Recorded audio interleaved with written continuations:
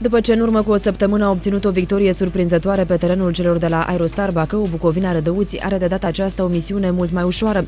Adversarii de vineri ai rădăuțenilor sunt pe ultimul loc al clasamentului, cu doar două puncte acumulate în cinci partide. Știința Miroslava s-a descurcat însă onorabil în etapa precedentă, când a condus la pauză liderul FCM Dorohoi. De altfel, antrenorul Lucian Burlacu a remarcat că ieșenii obișnuiesc un joc bun timp de 45 de minute, după care cedează fizic. În momentul de față, Bucovina Rădăuți ocupă locul 6 în clasamentul seriei 1 din Liga 3 cu un bilanț de 3 victorii și 3 înfrângeri. Meciul cu știința Miroslava este programat de la ora 15 pe stadionul municipal din Rădăuți și contează pentru etapa 8 -a.